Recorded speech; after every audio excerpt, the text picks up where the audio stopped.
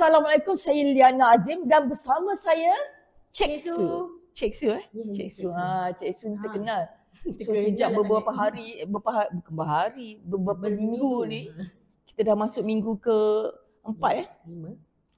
Oh, lima, sorry. Lima eh. Banyak sangat dah episod. Minggu kelima, yang mana dia dah jadi tax influencer dah tahu sekarang. Ha. Ah, Beria je tu. ah betul tak Su? Betul lah kan? Tak salah kan jadi tax influencer? Ah, glamour, glamour, glamour. Okay.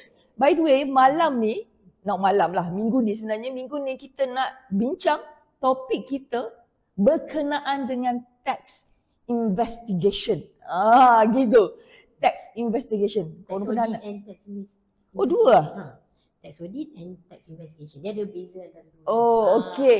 Tax audit dan juga tax investigation. Ah, so malam ni topik dia berkenaan tax audit versus tax investigation. Alright. Betul? Betul. Alright. So sebenarnya saya ni ilmu saya cetek lagi berkenaan dengan tax investigation tu. Okay. Tapi tak saya punya ilmu tak adalah setebal mana. Boleh lah kalau nak berkongsi tu. Tapi untuk topik malam ni, hari ni sebenarnya saya rasa sebab saya rasa perlu kita kongsi. Betul je Su? Betul. Kita nak kongsi dengan korang semua macam mana tax audit dan tax investigation ni berlaku. Okay, by the way lah Cik Su, saya nak kira kita nak tahulah sikit apa sebenarnya beza tax audit dengan tax investigation ni sebenarnya. Okey. Uh, tax audit ni uh, biasanya kita akan audit ataupun semak semula dokumen secara random je sebenarnya. Mm-mm. Maksudnya sebab kita kan tahu kita pakai. STS, sistem taksir Mm-mm. sendiri. So Mm-mm. sistem taksir sendiri tu kan kita yang kira, kita yang filing, kita bayar. Uh, kita rasa kita dah paling betul lah kira tax tu. Jadi LHDN datang dia nak tengok. ha, sama ada kita buat tu betul atau tidak. So dia datang memang secara random Aha. uh, dan maybe dia datang tu by industri. Macam uh, dalam industri perkayuan contoh. So dia akan pick beberapa uh, syarikat yang dia rasa okay dia nak nak test company ni, test company ni. So maknanya kalau so maknanya LHDN ni akan pilih contohlah tahun ni dia akan pilih dua industri ke ataupun dia banyak-banyak industri dia pilih. Dia sebenarnya berkala. Dia Berkala? banyak-banyak. Maksudnya contoh uh, dia dia nak uh, apa audit uh, orang yang terima commission. Macam Oh. insurance, orang jual Amway. Yang CP58 hari tu Ah, lah kan. CP58. CP58. Ah, Oh, hebat kita. Ah, lepas tu ah, selepas tu dia akan audit orang yang buat ah, macam produk pula. I Ah, see. yang, yang founder-founder tu. Ah, Ha, okey. Lepas tu dia akan audit ah, mungkin orang yang buat servis pula. Oh. Ah, ataupun dia akan audit professional So dia dia buat by industry. by industry. Itu tax audit lah. I Okay. see. Tapi tax investigation ni pula beza dia selalunya tax investigation ni dia ada maklumat. Maklumat Mm-mm. kenapa dia kena audit this person ataupun this company. Mhm. Okay. Mhm. Ataupun dia sebenarnya bermula dengan tax audit biasa. Mhm. Tapi rupanya dia menjurus kepada ada nampak kes fraud ataupun negligent. So dia kata okey kita akan teruskan benda ni menjadi kita akan investigate benda ni supaya kita tengok benda ni sampai mana dah. Contohnya macam Maksudnya ni investi- investigate tu secara dalam lagi lah lah. dalam lagi dan sebenarnya dia lagi serius. to ensure that uh, apa bukti-bukti CP-CP ni Hmm? Uh, dapat Boleh. dibuktikan. Dapat dibuktikan betul. Oh, Ah, okay. Okay. alright. Ah. So uh, maksudnya dia relate lah kan betul tax audit dengan tax investigation ni jika berlakunya uh, maksudnya ada ke arah ke penipuan. arah penipuan fraud Yes, tu kan. Betul. Sebab minggu lepas pun kita bercerita pasal forensic account kan. Betul. Ah. So dia ada relate lah dengan forensic account tu Ada kan. relate. Ah, ada. tengok. Sebenarnya tax audit dengan tax investigation dan forensic account ni dia ada dia berpusing-pusing Dekat situ. Dia dekat situ cuma dia pergi simpang sekejap. cuba tajuk dia lain. Ah, tahu dia lain. tajuk dia lain. Ah. Okey sebenarnya untuk tax audit ni Mhm. selalunya lah method method macam mana macam macam mana dia buat sebenarnya dia pergi ke office ke dia pergi ke rumah ke sebab saya ingat lagi episod yang sebelum ni kata tekal loceng Okey. saya ingat lagi tekal loceng sampai tak boleh tidur malam sebab takut orang tekal loceng Okey. ni pun dia pergi rumah ke Okey. Dia macam ni, kalau dia adalah individu, Mm-mm. boleh je dia nak pergi rumah. Sebab dekat mana lagi LHDN nak pergi rumah, eh, nak nak check dokumen dia. Tapi biasanya Ha. uh, yang sekarang punya cara adalah. LHDN uh, email dulu minta dokumen.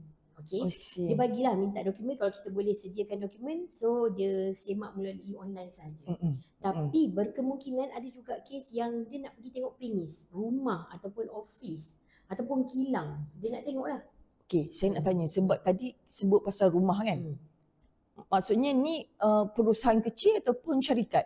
Syarikat Ah. dia pergi buat director ke? Uh, Sya- Possibility okay, tak? ni. Bila dia adalah tax audit, dia Mm-mm. mungkin minta dokumen saja. Tapi bila Okey. dia tax investigation, memang dia boleh sampai ke rumah, Uh. ke company secretary dia sendiri Hmm. ataupun ke auditor dia, ke tax agent uh, punya office pun boleh. Sebab tu uh, company secretary kena simpan dokumen kan betul tak? Ha, itu uh, Eh, dokumen uh, Dokumen terima ya, secretary yalah lah. secretary yalah. Ha, Betul? okay. Faham? So Faham? dia ada sampai tahap um, dia datang secara tiba-tiba. Yang yang bukan bagi surat dulu, dia datang tu dengan beberapa orang uh, and dalam masa yang sama dia pun datang kat tempat lain. Ad hoc ni, ad hoc ni Ha. kira macam Dan- tiba-tiba pak datang depan datang. depan rumah ke depan kedai ke macam tu. Ha. Huh. Dan kita nak pergi telefon company secretary rupanya dia pun ada wakil dia di, di syarikat. Dah ready kat sana? Maksudnya okey, maksudnya dia boleh ada contohlah ni tim A. Okey, yang seorang ni pergi rumah, yang seorang pergi premis, yang Hmm. seorang pergi company secretary. Betul. Dan ada yang Uh. uh, baru-baru ni yang saya lalui ialah Mm-mm. kita dipanggil ke unit siasatan. Maksudnya kita tu accountant. Mm-mm. uh, tax agent, Mm-mm. taxpayer sendiri. Uh, lepas tu orang yang menyediakan akaun dia lah, mungkin pekerja dia dipanggil ke unit siasatan dan kita di-interview di sana. Oh, okey. Ah, Okey. Maksudnya uh, it, uh, kalau kalau kita sebut tax, tax audit lah. hmm. Uh, okey.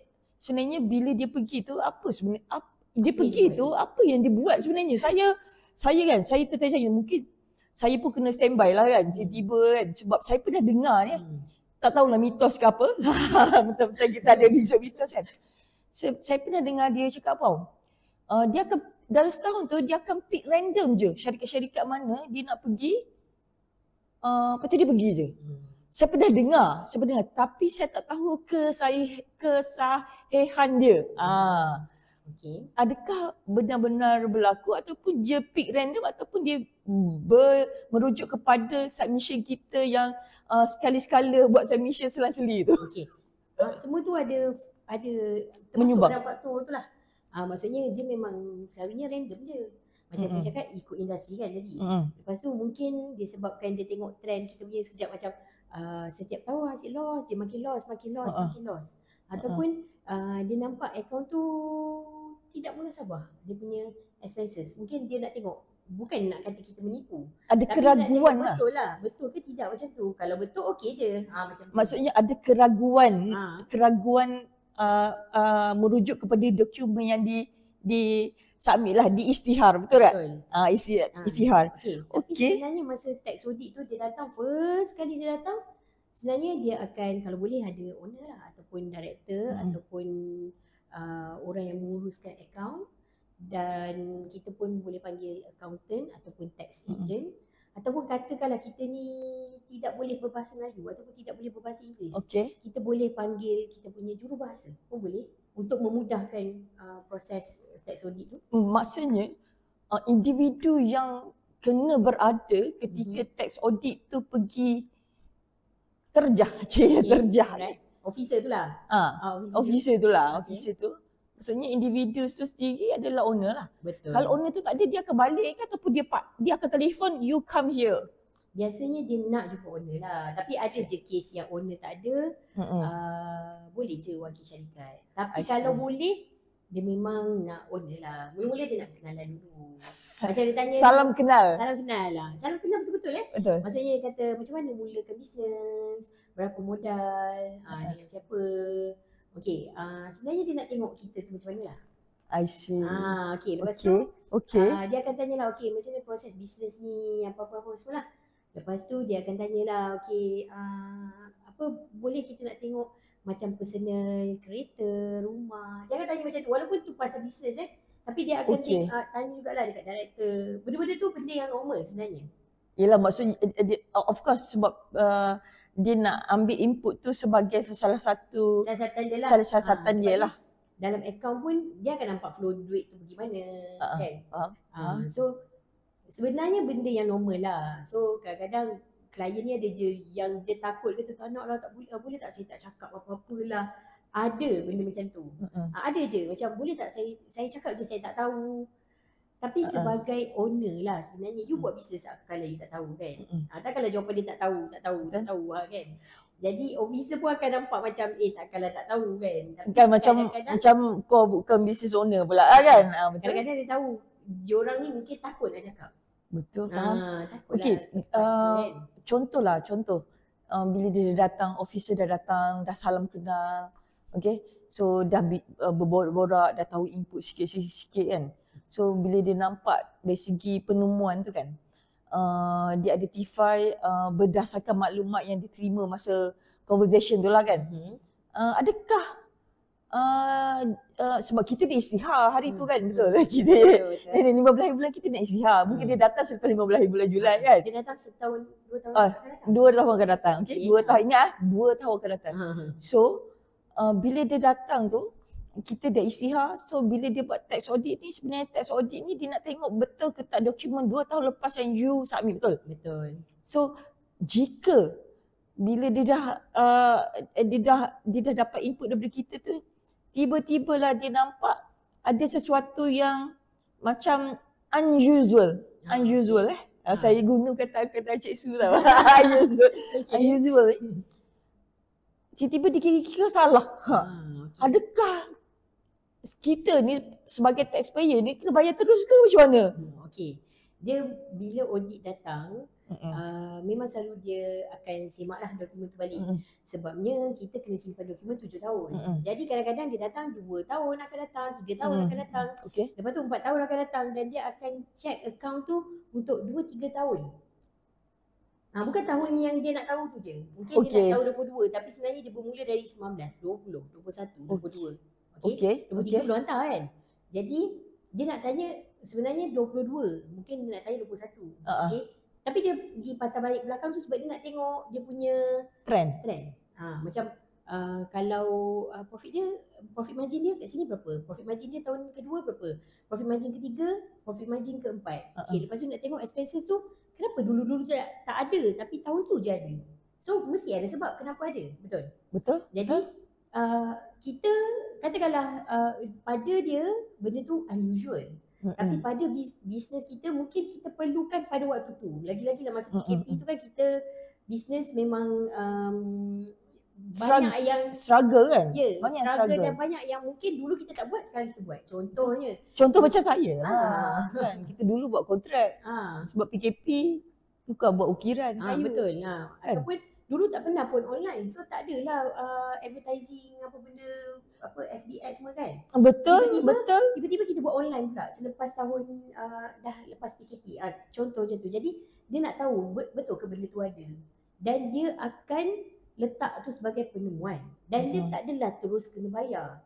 Dia akan bagi masa pada kita untuk cari dokumen. Mm-mm. Okay. Buktikan okay kenapa, justify kenapa kita buat expenses tu.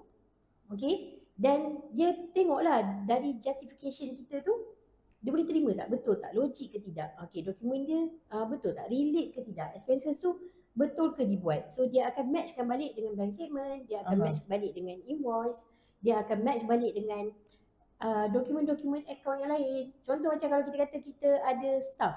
Mm-mm. tapi staff kita semua tak ada bayar EPF dia boleh argue.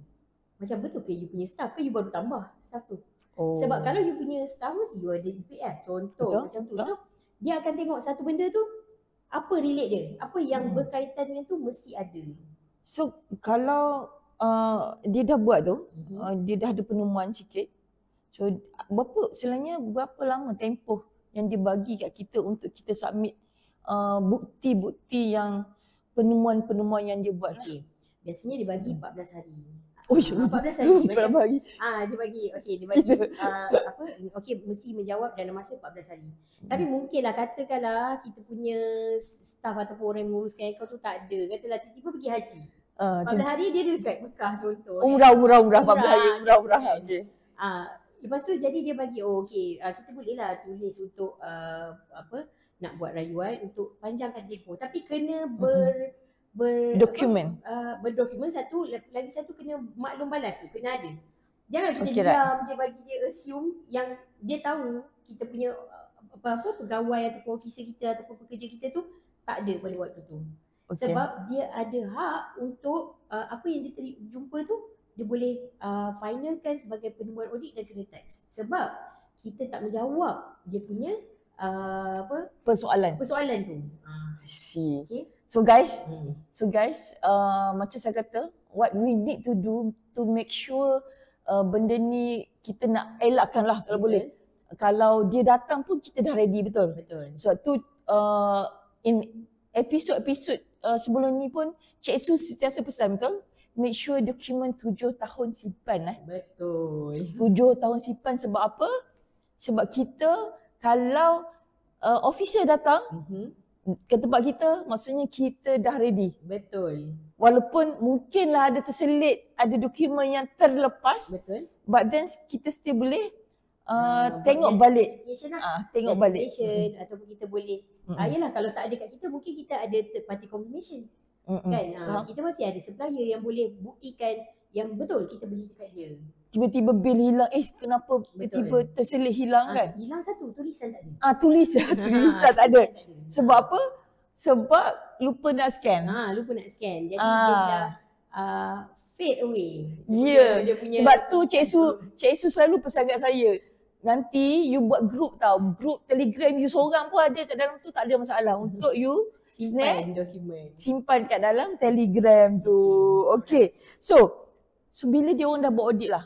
Uh, uh, kalau kalau tax investigation ni selepas dia buat audit dia penemuan kan?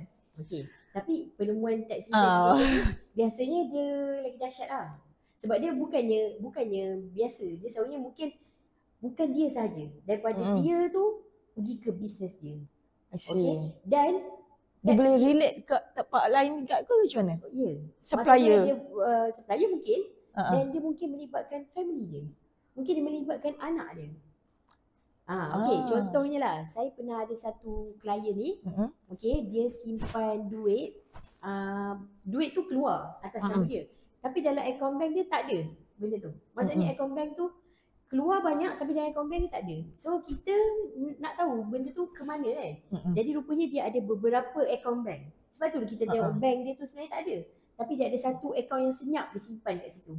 Dan daripada account senyap tu sebenarnya dia simpan pula kat account isteri dia. Senyap lagi. Senyap lagi. Dan yang paling dahsyat sekali dia simpan dalam akaun tabung haji anak dia. Senyap-senyap. Senyap-senyap. Ha, jadi trail tu benda tu dekat sini keluar, masuk kat mana kita tak jumpa. Sebab itulah dia boleh melibatkan kesemuanya lah. Dan bila tax investigation ni sebenarnya kita kena isytihar harta. Dia kena match balik dengan perbelanjaan tahunan kita. So dia akan tengok eh income yang kita declare dengan perbelanjaan yang dia nak kita declare apa pula perbelanjaan-perbelanjaan tu. Kita ni kalau orang tanya, Uh-uh. you belanja apa? Kalau you ke- kena tanya HDN mesti kita akan kata apa? Oh saya belanja ni banyak. Kalau boleh kita nak tunjuk rugi betul. Betul? Saya Betul? belanja ni, saya belanja ni, saya belanja ni. Tapi dia tak sedar yang dia dah declare income dia sebanyak ni. Ada Contoh lah. Ha. Ajak Jesu, saya nak nak nak nak nak nak, nak lompat sikit. Okay. Sebab uh, saya ada jumpa orang, dia kata, "Eh macam mana? ah? Aku rasa macam banyak sangat duit aku belanja ni. Hmm. Belanja belanja lah belanja. Macam mana? Macam kalau aku nak istihar teks lah, Hmm. nanti banyak sangat uh, uh, sebab banyak banyak sangat. Hmm. Tak boleh ke nak macam nak suruh nampak rugi? Hmm. Boleh ke Cik Su macam tu? Okay. Uh, uh, sebagai tax agent, Ha? audit tax auditor, Hmm. Uh, kalau pandangan you ataupun cadangan you untuk orang-orang yang Macam ah, ni kan. ah, yang macam ni ah, macam ni ni. Macam mana? Okay. Okay, dia akan tanya dulu, dia akan tengok dulu berapa yang you declare income you. Katalah you declare income you RM100,000.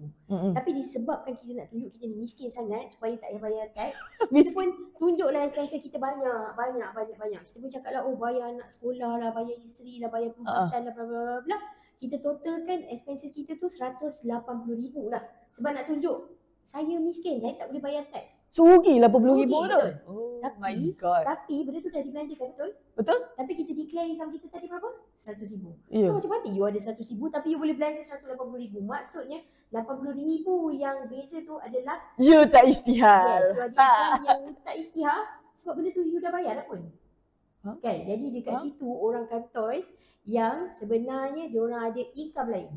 Okay guys. Ha. Ingat eh. Ingat. Ingat pesan Cik Su. Ha. Kalau istihar, istihar yang betul-betul. Betul. Sebab kalau dia tengok perbelanjaan you, Hmm. Dia pun boleh tahu sebenarnya you Ya. memang tipu dah. Ha. dia tengok trend. Betul? Betul. ni ada juga yang uh, orang cakap uh, ada ni lah uh, yang yang saya baru jumpa dia kata uh, apa oh sebab dia nak buat account ni dia kena buat penggajian. Hmm. so selama 6 bulan supaya dapat beli rumah supaya dapat beli uh, apa kedai. So bank uh, nasihat untuk ada penggajian. Baru baru you boleh beli. So Macam adakah uh, adakah benda tu uh, mitos ataupun Itu cara yang betul. ada tu Ah, cara yang betul? Sebab Hmm. sebab kebanyakan ni kebanyakan kita lah saya saya ni pandangan saya lah Hmm. kebanyakan kita sebagai perusahaan kecil Mhm. uh, kebanyakan kita tidak ada penggajian Okey. uh, saya belajar daripada mistik saya Mhm. uh, sebenarnya which is uh, selepas pada nasihat daripada kawan saya cik kawan saya tu adalah yang tu kan uh, dia kata uh, kenapa pula awak tak boleh nak ambil gaji sendiri Betul.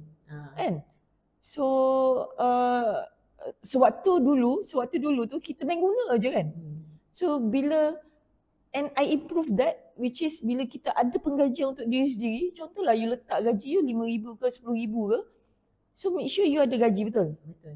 then you ada selit gaji walaupun you tak nak potong KDSP sebab KDSP sebagai owner ni you boleh bayar direct daripada Maybank Mhm. like, uh, saya sebab kita ada akaun Maybank kan Hmm. you boleh bay- bayar direct so tak semestinya you guna uh, KDSP syarikat Okey. Alright. boleh ke macam tu Okey. Dia macam ni eh uh, yang Cik Dana cakap tadi tu Ya. sebenarnya betul. Maksudnya dia sebenarnya walaupun bisnes tu bisnes kita, Mm-mm. kita kena ingat kita dengan bisnes adalah uh, separate legal entity. Walaupun Mm-mm. kita entity yang sama, Mm-mm. tapi kita kena asingkan tu, um, perbelanjaan kita dengan perbelanjaan Mm-mm. bisnes. So Mm-mm. mungkin kita mesti ada tanggungan nak bayar anak, nak bayar isteri, nak bayar apa-apalah lagi Mm-mm. belanja rumah. So kita kena allocate gaji pada kita dan uh, perbelanjaan office guna office lah. Mm-mm. Kalau orang yang tak ada gaji tu yang dia guna duit office tu. Jadi dia pun Mm-mm. cakap, oh ini duit saya. Betul duit dia. Tapi dia kena ada penggajian tu maksudnya nampak lah okay ini dia ada ambil duit Mm-mm. untuk gaji dia dan untuk benda-benda yang dia kena bayar dan ini untuk bisnes dia. Sebenarnya kalau bank tu uh, ki- kisah bank tu pula betul ke bank cakap macam ni macam ni tu bank sebenarnya dia nak memudah cara lah. Mm-mm. Okay, you nak buat loan. Kalau you tak ambil gaji, macam mana you nak bayar loan tu nanti? Takkanlah semuanya bisnes yang bayar. Mm-mm. So at least you asingkan you ada penggajian yang you ada bisnes. Dia tahu yang you akan bayar loan tu uh, kalau benda tu adalah personal loan akan bayar melalui gaji you. Tapi Mm-mm. kalau dia adalah loan yang daripada company, company yang akan bayar loan tu. Sebab ada yang ni uh, ada yang pernah share dengan saya lah. Hmm. Ada yang pernah share dengan saya which dia kata tak apa uh, uh, tiap-tiap bulan kita memang masuk gaji. Lepas tu Hmm. nanti kita pulanglah balik kat gaji tu. dekat dekat office. Ha, cuba. Ah. Tapi macam mana you nak ada income kalau you pulangkan balik? Oh okey. Uh, faham tak saya? Faham, saya faham. saya tengah saya uh, the trick the trick yang ramai yang uh, ramai lah saya rasa. Mungkin mungkin dulu pun saya mungkin terjebak juga sekali. terjebak juga sekali. Which is oh ya ke boleh ke? Oh oh you bayar gaji lepas tu 2 3 hari lepas tu you masuk balik. Okey. Uh, itu ramai juga orang buat. Bukan dia orang bisnes Tapi- eh. Bukan orang Oh. bisnes je, orang gaji-gaji biasa pun dia nak tunjuk macam contohnya gaji dia sebenarnya dua setengah. Ah, ah. Kalau nak dapat loan kita nak kata uh, gaji kita kena kena tunjuk lima ribu. So kita Ah, ah. kena ada dua income. So Ah, dia ah. pinjamlah uh, spouse Kawan. punya ke kawan punya ke masuk sekejap. Okey, tunjukkan duit tu masuk lima ribu nanti bayar balik. Betul. Mm-mm. Ah, tapi sampai bila nak buat macam tu? Sebenarnya bank tengok duit keluar masuk pun dia dah tahu dah. Masuk daripada akaun mana, keluar balik kan. So Betul. dia dah tahu dah. Okay. Okay. And then yelah sekarang macam sekarang lah saya tengok uh, dekat MNE lah sekarang eh Maybank eh saya share Maybank which is actually dia dah ada graf eh, graf grocery, Hmm, graf graf Perbelanjaan. perbelanjaan, graf untuk untuk uh, minyak, untuk Percentage. eh, eh, ya, Ha. percentage utilities, shopping online. Betul. Serius, dia dah macam uh, dia dah kategori kan. Betul. Kategorikan kita punya income. Hmm. So, possibility untuk you masuk dan keluar balik duit Akan tu nampak lah. akan nampak lah. Hmm. Maksudnya di, you tidak berbelanja kepada tempat yang Betul. tempat yang betul lah. Ah, betul tak? alright. Sebab uh, mungkin dulu masa dulu-dulu lah sebab saya I- I'm talking about mitos kan. Mhm. Uh, uh, orang cakap, Hmm. orang cakap macam tu. Jadi ke tak kan? Tapi ya betul. Sebab tu macam saya share dengan kawan-kawan saya itu, saya kata tak. Kalau betul-betul you nak memang nak menggajikan dia, betul-betul ya dia uh, menggajikan dia. Hmm. Maksudnya duit tu dia belanja lah. Betul. Betul tak? Dan sekarang bank pun dah pandai. Oh, Bila bank you pandai. tunjuk eh, you tunjuk duit tu masuk keluar macam ni kan. Uh, Lepas tu dia akan minta borang teks. Dia nak tengok berapa you declare. Kalau you masuk RM5,000, you declare berapa? Berapa ribu? Kalau you declare RM5,000, maksudnya betul lah gaji you. Tapi kalau you Mm-mm. dah declare, mesti you declare gaji sebenar, betul tak? mm-mm, Kita, kita declare gaji kita dua setengah. mm-mm, Tapi masuk dalam bank, kita nak tunjuk duit kita banyak, kita masuk RM5,000. mm-mm. Ah, lepas tu dia matchkan balik dengan tu. Tapi ada je orang buat yang tapi kita matchkan balik, tak apalah kita dah, kita declare lah juga RM5,000. Ah, macam tu lah. Mm. Ah. Okay, okay. So, um, bila kita dah audit tadi tax investigation lah, audit penyiasatan ni kan, adakah uh, dia akan berlaku lagi selepas tu? Maksudnya kena audit lagi? Je. Okey. Dia macam, kenapa lah asyik aku kan, contoh kan. Okey. Macam ni eh, untuk pesalah uh, audit cukai lah eh. Katalah, bukanlah kita kata nak pesal, pesalah tapi mungkin dia adalah uh, masa buat tax audit tu ada penemuan. Okey. NHDN sebenarnya boleh datang lagi, sekali lagi 2 3 tahun ke 5 tahun ke akan datang sebab dia nak tengok dia masih lakukan kesalahan yang sama ke tidak. Katakan dia masih lakukan kesalahan yang sama, dia akan datang lagi tak kali ketiga. Tiga Datang lagi? tu. Datang lagi. Sampailah kita ni betul-betul dah buat dah ada rasa insaf dan dia puas hati. Pembutihan. Apa? Mungkin Pembutihan. dia stop sekejap. Betul. Tapi nanti dia akan datang balik. Ha, Faham, macam lah. Maksudnya to ensure that uh, to ensure that kita uh, follow uh, so dia akan sentiasa datang lah untuk kita memberi peringatan. Hmm, betul. Ah, Kita kadang-kadang ada men- untuk tidak menipu. Sebab uh, saya baca komen dekat TikTok. Okey. saya baca komen dekat TikTok yang posting pasal kita punya apa uh, video-video kita ni lah. Mhm, Video-video okay. snip, snippet kita ni. Hmm. Which dia kata uh, uh, dari jadi tempat kerajaan nak ambil duit. Oh, okey. tempat kerajaan nak ambil duit. Okey, betul ke tidak? Ah, Betul ke tidak? Ah, betul ke tidak? Ah, gitu. Okey, kalau kita masuk persatuan apa-apa pun kita mesti ada bendahari, betul tak? Betul? Ah, samalah macam negara pun mesti dia ada bendahari dia. Mestilah ada tukang kutip duit dia. So Ya. NHDN ni sebenarnya itulah agensi yang membantu kerajaan ah, mengutip duit kerajaan. Mengutip duit Ah. kerajaan. Betul betul. Dia macam ni lah. Yang saya tahulah, kalau yang selalunya yang uh, mengutip, uh, mengambil duit ni, Mm-hmm. macam contoh hos- hos- hospital kerajaan tapi charge pun RM1 betul. Betul, murah Sangat sangat. murah Hmm. sangat kan. LHDN ni memang sebab you buat- bisnes, Betul. you kena bayar tax lah. Ha. Ah, jangan jangan uh, lupa daratan. Jangan lupa daratan sebab you you buat bisnes uh, betul ada time yang uh, you rugi betul. Betul. Bila you rugi, you istihar je you rugi betul. Mm, betul. Tapi kalau setiap tahun Mhm. sampai ke lima tahun buat Mhm. bisnes rugi, baik tak payah buat bisnes. Betul. Apa objektif you buat bisnes kan? Betul? Adakah untuk mendapat kerugian? Iya. Ya Okey. betul. Okay guys. So malam ni uh, topik dia hangat tax audit dan tax investigation. I Alright. thank you Jesu for the input. Alright. So lepas ni saya kena beringat Mhm. Okay, saya always keep uh, reminding myself. Uh, kita buat reminder lah untuk diri saya juga dan untuk korang semua juga. So make sure dokumen simpan tujuh tahun. Okey. Ya? Dan uh, ingat yang Hmm. uh, NHDN memang akan datang sebenarnya. Cuma kita tunggu masa je. Lambat atau cepat sahaja. Ya betul. Betul. Betul. So guys, saya pun sentiasa uh, kata kena alert lah. Betul. Uh, kena alert dan insyaAllah kita akan ada lagi topik Yang untuk lagi minggu hangat. depan. Yang lagi hangat lah. Ah? Yang lagi hangat. Lagi hangat. Okey. Lagi hangat sebab kita nak sentuh pasal donation Ha. Ah, alright. pasal donation dan juga berkenaan dengan the latest uh, apa the latest uh, issue. news yang kita dengar daripada HRDF eh? Ah, oh HRDF tu, kes tu. Ah, kes tu. Ah, kita nak kupas pasal kes dan juga apa lagi ada ada beberapa news tau. Ah. Okay, so korang kena tunggu next episode.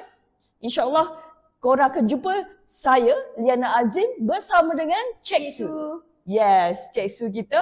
So guys, jumpa korang minggu depan. Bye.